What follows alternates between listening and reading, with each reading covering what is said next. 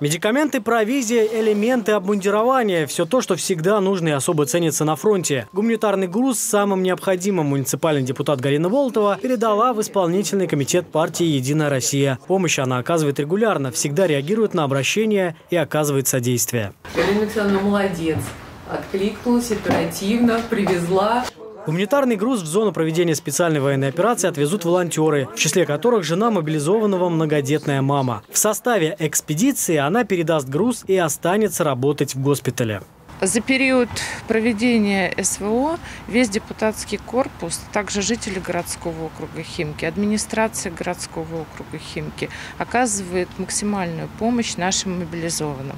Это одна из приоритетных задач нашего города и всей Московской области в целом. Гуманитарные грузы из округа в зону СВО отправляются постоянно. За последние полгода на границе страны Химки отправили сотни тонн гуманитарной помощи. Те, кому адресована эта помощь, всегда рады и благодарны не только провизии, но и детским рисункам, письмам, любой доброй весточки из дома. Сбор гуманитарной помощи в Химках проходит ежедневно. Адреса можно уточнить в Центре поддержки участников СВО и их семей по номеру телефона, указанному на экране. Александр Сергеев, Руслан Сафин, Новости Химки ТВ.